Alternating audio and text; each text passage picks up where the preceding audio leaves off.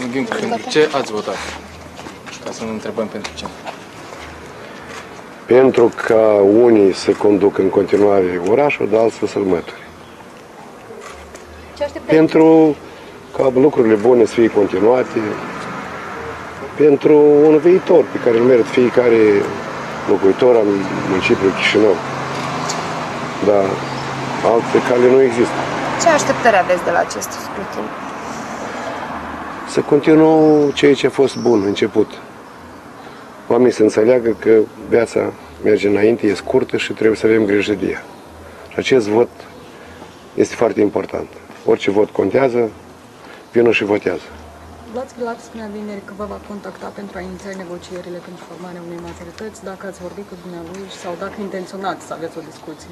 Mie îmi pare că noi am vorbit e, două luni pe alegerile Ultima parlamentare. contact. Două luni am vorbit atunci și care e rezultatul? O știți? O cunoașteți, așa -i?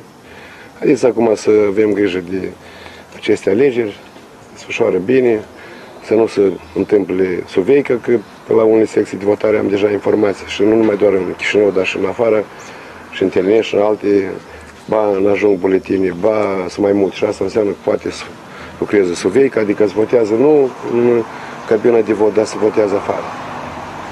Asta e. Atât? Da, mulțumim. O zi bună. La fel.